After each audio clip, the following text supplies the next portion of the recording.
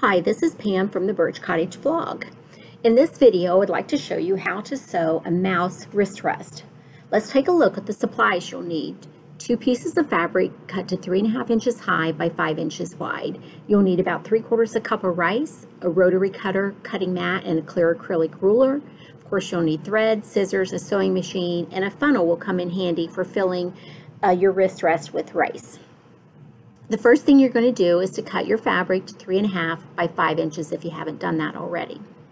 And then you're going to sew those two pieces together. Lay them right sides together and sew around using a quarter inch seam allowance, making sure that you leave an opening for turning your wrist rest and for filling it with the rice. And again, take a quarter inch seam allowance all around all four sides of your wrist rest, leaving an opening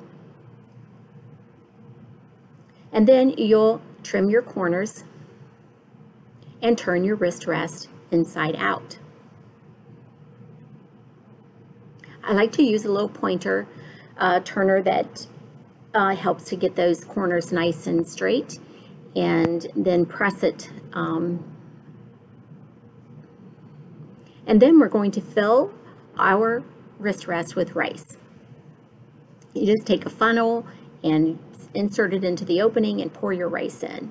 Once that's done, you want to pin the opening closed and do a very narrow hem all the way around the wrist rest. One, to close the opening, and two, to add an extra seam. This extra seam will help to secure your stitching and keep your rice inside your wrist rest.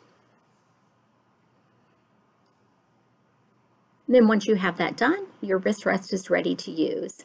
Thank you for watching this YouTube video. If you like this video, be sure to like it below and subscribe to my YouTube channel. Thank you, and I'll see you next time.